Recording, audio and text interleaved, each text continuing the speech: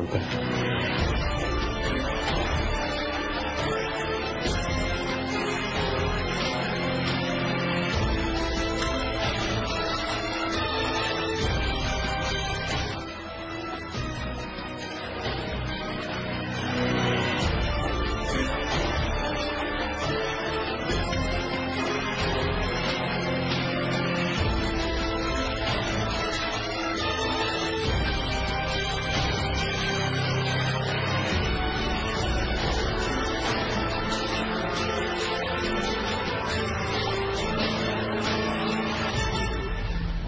और फिर एक दिन वो घर आई। सुनिए